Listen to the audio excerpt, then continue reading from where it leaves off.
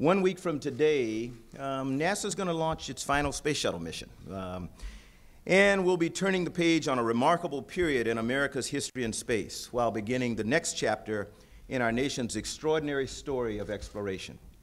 From the early exploits of Daniel Boone, Lewis and Clark, and Robert Peary to the breakthrough journeys of Alan Shepard and John Glenn, Americans have always, always been a curious people, bold enough to imagine new worlds ingenious enough to chart a course to them, and courageous enough to go for it. And the gifts of knowledge and innovation that we have brought back from the unknown have played their part in the building of a more perfect union. Some say that our final shuttle mission will mark the end of America's 50 year dominance in human spaceflight. As a former astronaut, as the current NASA administrator, I'm here to tell you that American leadership in space will continue for at least at least the next half century because we've laid the foundation for success, and for us at NASA, failure is not an option. Once again, we have the opportunity to raise the bar, to demonstrate what human beings can do if we're challenged and inspired to reach for something just out of our grasp, but not out of our sights. President Obama has given us a mission with a capital M to focus again on the big picture of exploration and the crucial research and development that will be required for us to move beyond low Earth orbit. He's charged us with carrying out the inspiring missions that only NASA can do, which will take us farther than we've ever been to orbit Mars and eventually land on it. He's asked us to start planning a mission to an asteroid, and right now, our Dawn spacecraft is approaching one of the biggest in the solar system, Vesta and we're scheduled to drop into orbit around that asteroid the middle of this month. What it finds out could help inform such a future mission to an asteroid. The President is asking us to harness that American spirit of innovation, the drive to solve problems and create capabilities that is so embedded in our story and has led us to the moon, to great observatories, and to humans living and working in space, possibly indefinitely. That American ingenuity is alive and well, and it will fire up our economy and help us create and win the future. Now, but only if we put aside our differences and come together to work hard, dream big, and imagine endless possibilities. The space shuttle is an amazing vehicle, amazing vehicle. And the incredible program that it pioneered has taught us many things and helped make tomorrow's exploration possible. Every shuttle mission has showcased the amazing talents and expertise of our astronauts in robotics and science. Each mission was different. Each was exceptional and challenging and expanded our capabilities as a nation and a world. Atlantis' destination next week, the International Space Station, or ISS as we call it, is the centerpiece, the centerpiece of our human spaceflight activities for the coming decade. And what a centerpiece it is. With almost a million pounds of hardware, measuring over the length of a football field, and with an interior volume greater than a 747 aircraft, traveling at 17,500 miles per hour around the Earth 16 times every normal Earth day. It's occupied by an international crew of six, actively participating in over 100 research investigations at any given time. In just a little over a decade, the ISS has expanded our knowledge of man's ability to live and work in space. And it has become one of the most important beacons of international cooperation as it orbits our Earth. The station is the pinnacle of our current achievement, a stepping stone to the rest of the solar system and the tip of what comes next. The shuttle allowed us to build and support the station and the orbiting outpost's research capabilities are unprecedented. The station has housed more than 1,200 experiments to date, supporting more than 1,600 scientists representing 59 countries worldwide. Every research investigation and all the systems that keep the ISS operational help us figure out how to explore farther from our planet and improve life here. Studies of how our bodies respond to a microgravity environment ensure that we can live and work successfully as we travel farther from Earth and help us better understand the impacts of medical conditions encountered both in space and here on Earth. Solar power and water processing are two examples of how we are learning to better operate spacecraft independent of resources supplied from Earth. We need to break the ties to our home planet and learn to live and work in space without direct dependence on Earth. The ISS can be a platform to us to learn these skills. Technology demonstrations on the ISS will support future missions and help us improve the reliability, for instance, of future life support systems. And all the many other things we'll need to understand in depth to really become a spacefaring people who can safely reach our destinations. So when I hear people say or listen to the media reports that the final shuttle flight marks the end of U.S. human spaceflight, I have to tell you, you all must be living on another planet. we are not ending human spaceflight. We are recommitting ourselves to it and taking necessary and difficult steps today to ensure America's preeminence in human space exploration for years to come. But we have to do things differently. For one, we have to get out of the business of owning and operating low Earth orbit transportation systems and hand that off to the private sector exercising sufficient oversight, of course, to ensure safety of our astronauts. We need to focus on deep space exploration while empowering today's innovators and entrepreneurs to carry out the rest.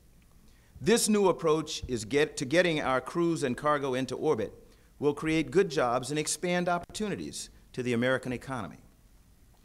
And let me be crystal clear about this.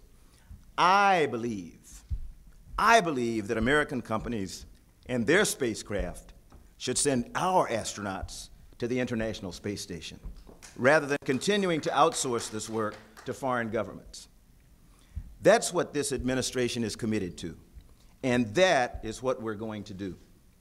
Along with supporting the ISS and commercial crew transportation, NASA will pursue two critical building blocks for our deep space exploration future, a deep space crew vehicle and an evolvable heavy lift rocket and we will make the technology investments required to begin the era of deep space exploration today.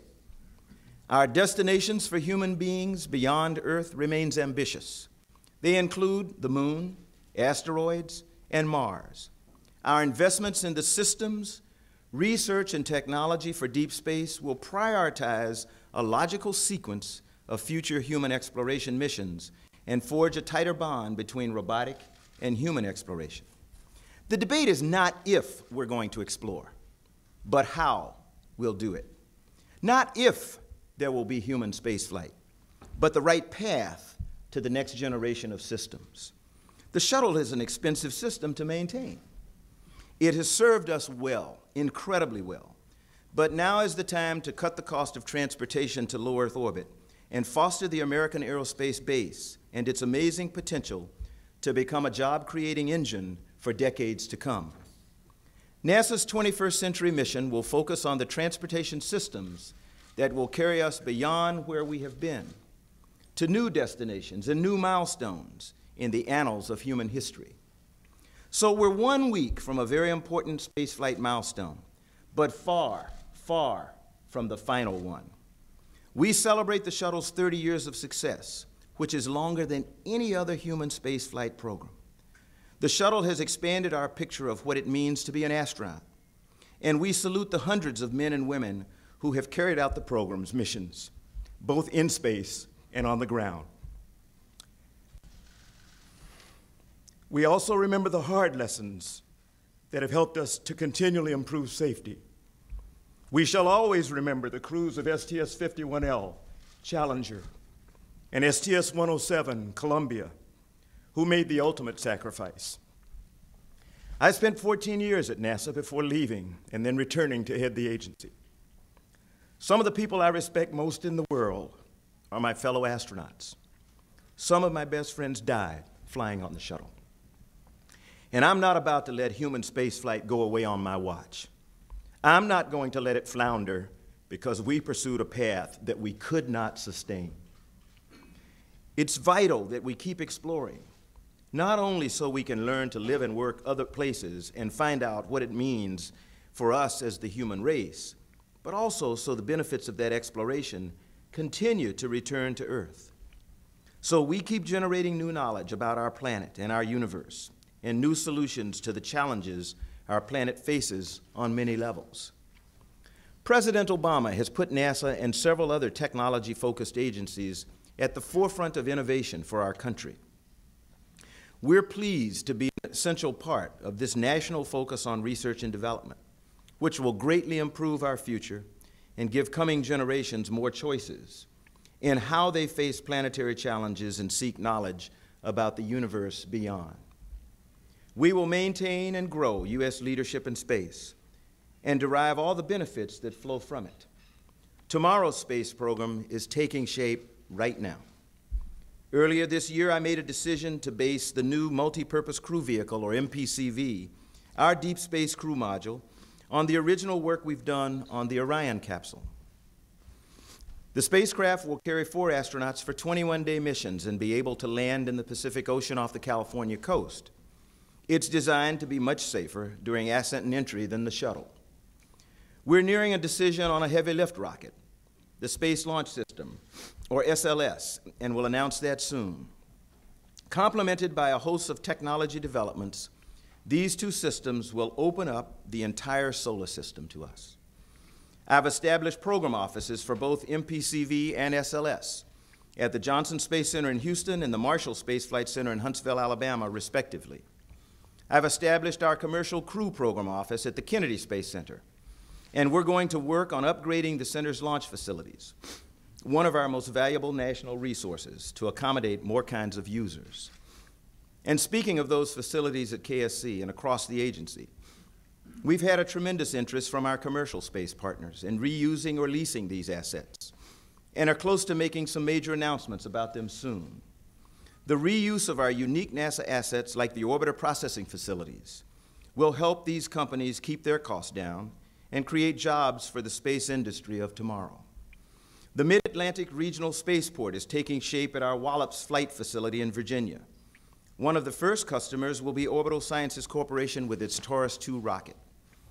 Last week, we issued a call for proposals for mission concepts studies of a solar electric propulsion system demonstration. Just one of the many technologies we need to advance and validate as we seek to reach those farther destinations. Consider how the architectural options for human exploration of our solar system will change as we develop space technologies for which there is wide consensus we need.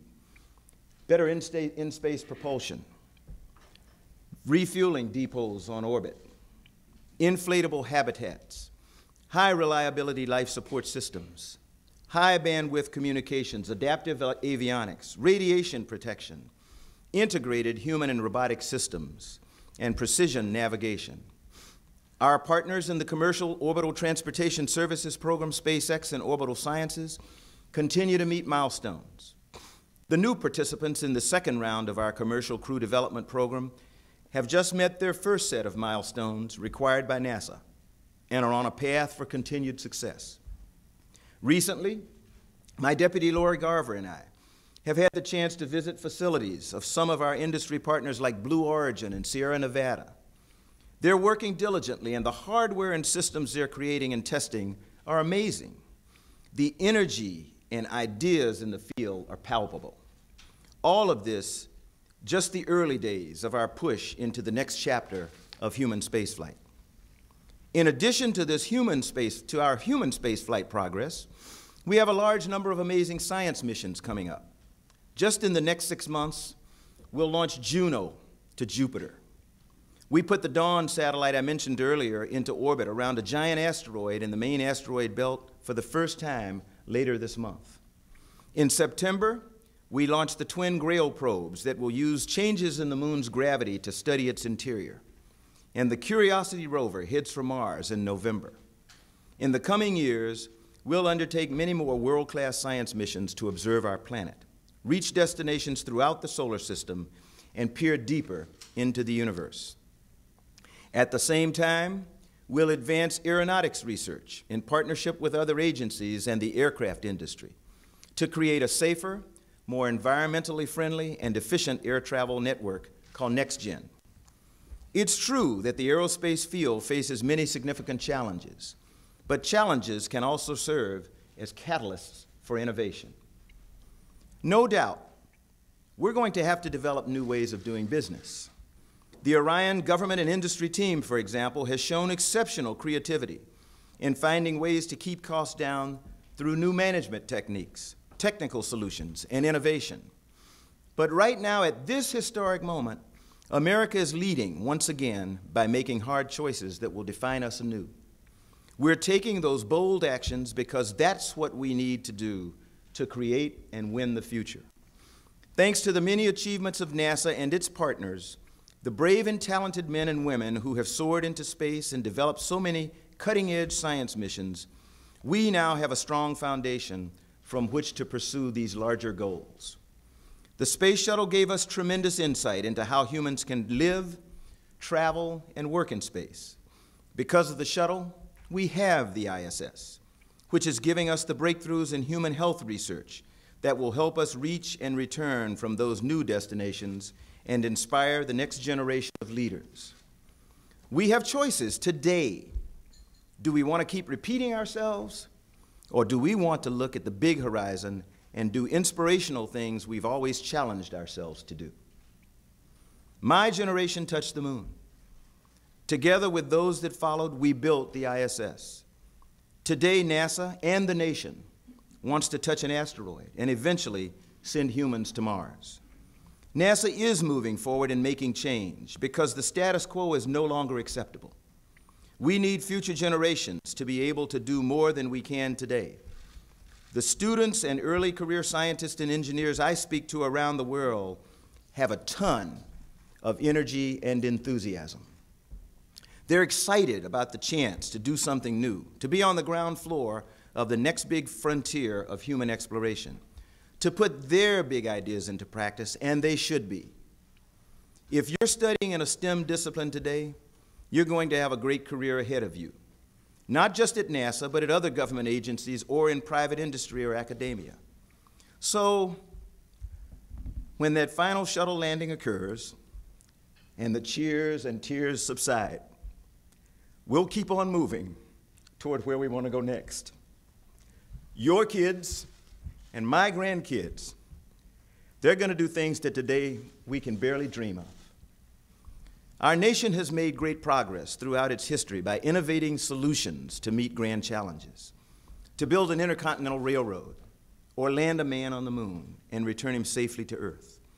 These challenges not only motivated a technological workforce, they also created new technologies and innovation along the way.